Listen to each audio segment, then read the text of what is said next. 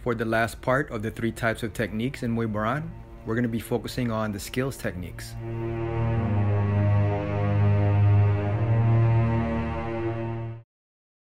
For part three, the skills techniques include all the minor and major techniques of Muay Boran. So, what that means is that you start off with a clean slate. It doesn't matter if you've done other types of martial arts in the past or you have a different type of background. Everybody begins with all the fundamentals of Muay Boran, and there's quite a bit, starting from stance to the basic footwork, Yang Sam Kum, and then working all the exercises, working your way towards the drills, and then putting all the uh, combinations and techniques together. But basically, starting from scratch all the way up to the advanced levels. That's what I mean about skills techniques. From the outset, the skills techniques look similar to Muay Thai techniques because the fundamentals are similar, right? You work your jabs, your cross, your hooks, your uppercuts, your basic knees, your basic elbows, basic defense. But then it progresses to more types of punching, more types of kicking, more types of elbows, knees, and so on. And then different types of defense tactics, and on and on. You want to think of skills techniques as the building blocks to become proficient as a Muay Boran stylist. So, sport slash major techniques are the moves that you can apply in everyday life, but in an advanced way. And so, I know I mentioned that self defense techniques are for the average person to defend against the average aggressor. But when you have someone who is more of a seasoned martial artist, then the self defense techniques take on a different role. It's more customized based on that practitioner's preferences. So, for instance, for me, if I do a self-defense technique on someone, let's say, and I'm, you know, if, if I block, if the hand is there, I'm going to grab it. If it's not there, I'm just going to transition into a different move.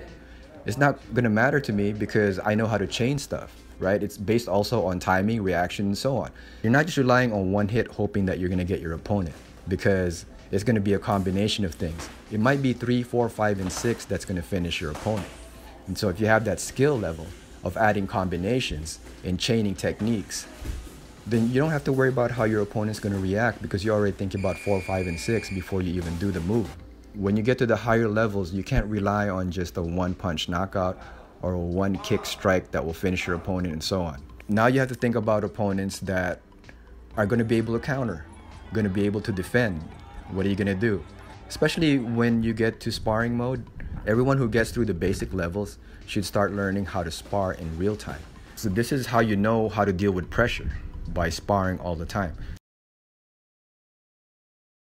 Some critics are going to argue that Muay Boran doesn't have any sport related techniques. But it's important to understand that as an ancient fighting art, it also evolved into a gladiator sport.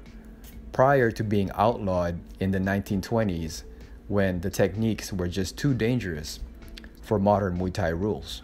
And as I mentioned before, you can see some of these techniques applied in both Muay Thai and MMA fights. Because now you can think about certain moves that you can use in practical ways, or you can use certain moves when you're wearing the gloves, whether it's the big gloves or the small gloves. Sport slash major techniques seem more simple and direct, but the reality of it, it's more complicated because you're chaining them and you're adding them in combinations. So you have to build that skill, which you get through continuous training, continuous sparring, and and just building from there is your stance solid so that when you strike there's power are you blocking with the right angle so that you can defend yourself properly? Are you working the drills so that you have better timing? You know when to grab someone. Even though Muay Boran has been outlawed in the 1920s when Thailand modernized the self-defense techniques the ancient military methods and the gladiator skills have been preserved within this ancient fighting art. And it's up to the current Muay Boran practitioners to interpret these fighting skills either for self defense, for performance, or for sport competition.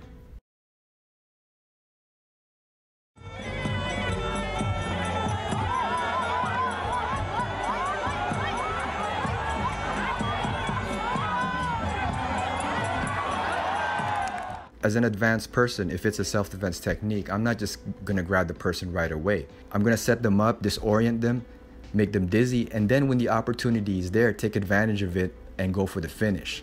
And that's how it works when you deal at the higher levels. You don't just go for the choke or the finish. People can defend that, especially if they're strong. But when they're incapacitated, when they're helpless, that's when you go for the finish. And that's the advanced levels. All these methods have to be taught through training. It's not something that you can just tell someone to do, right? Oh, this technique will work here because this person will do this and that person will do that. You don't really know what the person is going to do. it's unpredictable. Fighting is chaotic, it's unpredictable. The only way that a person can prepare is by working these skills day in and day out. So, these fundamental skills techniques build the foundation where you can apply both the street and the sport aspect of Muay Boran. Now that I've given you a basic understanding of these three categories, it's up to you to decide which type of techniques best suit your needs. For some people, it's again self defense because that's all they have time for. Other people will be a mix of either self defense and some agility slash performance techniques. For others, they're here just to do the sport slash major techniques. Those who focus on the skills techniques may not be interested in doing the self defense or the agility techniques. It just depends on the individual and how much of a Muay Boran training they want. Once you start doing a technique and it doesn't feel like something that works for you, then try something else. Try a simpler technique. And if that technique is too simple, then try the fancier technique, right? And if you don't think that that's effective for you, then focus on the self defense techniques and so on. So it's just trial and error, just like anything else. As I mentioned before, every Muay Boran stylist can be different from the next.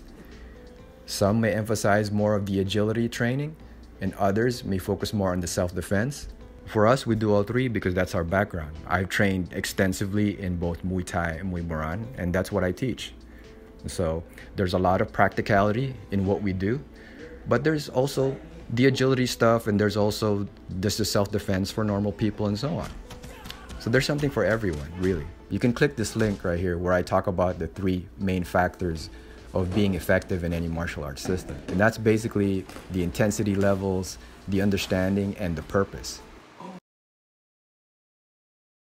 There's always going to be differences when it comes to talking about the effectiveness of any technique because everybody has a different background. And some people have been doing Muay Boran for years, like we do. And some people are just barely diving into it and may not even understand it. You have people who do Muay Boran more for performance. So they prefer the agility stuff, right? The climbing moves. And may not really know that much about the sport aspect of it because they didn't do Muay Thai and they don't really train their techniques in a combative way. So that's another important aspect of it as well. For us, we don't blame any system per se. Even though we have our preferences, we prefer doing Muay Thai, we prefer doing Muay Boran because that's our expertise, that's what we do, and we've been doing it for years. For those of you who are just starting out in Muay Boran and are not quite sure whether this is for you, just ask yourself do the techniques help you improve? Are you more confident with your skills? And if the answer is no, then ask yourself what can you do to improve your skills? Can you focus on less techniques that are simpler to do? Can you start sparring? Try to find ways to improve your skill. And if you ask yourself and you're still not improving in Muay Boran, then perhaps it's just not the style for you. And there's nothing wrong with that. Everybody's different. Everyone has different preferences. Perhaps you want to do a different type of style, that's fine. Try something else we don't think about certain styles being ineffective period because there's always something good with each system even if it's not as much as certain styles. Obviously for us we're very practical because we have extensive muay thai and muay boran background. And so we know what's practical and we know what's more for other types of benefits as i mentioned more for agility more for reflexes and so on more for just self-defense.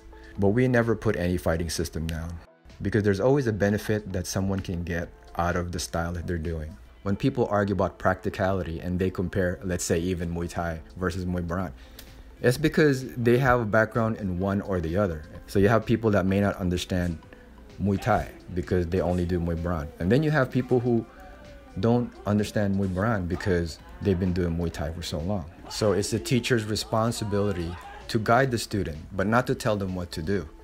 Because ultimately, it's your decision what system works for you. As you progress in the martial arts, then you can decide for yourself is this the style for me or not? Am I getting what I want out of this style? Do I want to do more self defense? Do I want to do more agility performance? Or do I want to just go do the sport competitive route? Right? That's ultimately your decision. And if that school or that teacher doesn't have that experience, then you need to go somewhere else, right? You need to train at a place that will give you that type of training. For instance, if you go to a Muay Boran school that only does self-defense or only does the agility slash performance, but that place doesn't offer skills techniques of a comprehensive system from beginner to advanced levels, or the teachers don't have experience competing and can't teach you the techniques in a very skilled and combative way, then perhaps it's time to look for a place with a comprehensive curriculum. So let's do a recap of the three techniques of Muay Boran. Part one, we talked about self-defense, which is mainly for the average assailant. And then part two, we talked about the agility slash performance techniques, which is really more for aesthetic value, but you also get athleticism if you train it, and it's also fun to do. And then part three is where we talk about the skills techniques, which is all the fundamentals that you would need to start off training in Muay Boran to develop a foundation and then work your way all the way up to the advanced levels.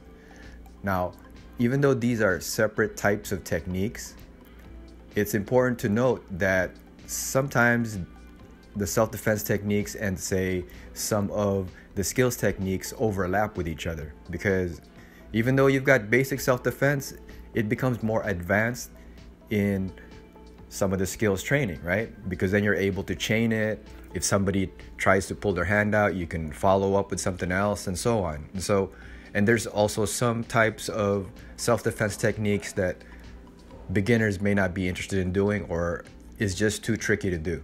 It's important to note that some of these techniques do overlap with each other. Martial arts is not a one size fits all. So even in Muay Boran, you will have different teachers teaching different aspects of Muay Boran, whether they focus more on the performance, others be more self-defense, others be more on the skills training. For us, we do all three because we'd like to have the student get the opportunity to choose what it is they want to get out of Muay Boran itself. So it's important to note that once you reach a certain level, you will have a different interpretation of the technique than someone else because your expertise are based on your preferences, your background, and so on. And there's so many factors involved in that, right? Whether you're physically taller, um, you prefer kicking over punching, you like to grab, you like to grapple, and so on. So there's so many different factors that affect the way you interpret a certain technique. But it doesn't mean it's not Muay Boran. It's still a Muay Boran technique. It's just a different interpretation based on your expertise. And so that's how it is with all the different fighting systems within Muay Boran style. So not all these techniques will be utilized because there's hundreds of them, but we make them available to everyone anyways and have them decide which techniques work for them because everybody's different, you know. Who am I to tell you what's right and what's wrong? I'm just here to guide you. That's my job as a teacher. Even though I have preferences of what works for me, inside or outside the ring, inside or outside the mats, and so on, I'm not going to tell someone what to choose. I will give them advice as to what I think about this technique and that, obviously, as a teacher. Ultimately, the only thing that matters is how a style makes you feel overall. It's not an individual technique, it's not an individual exercise or a drill.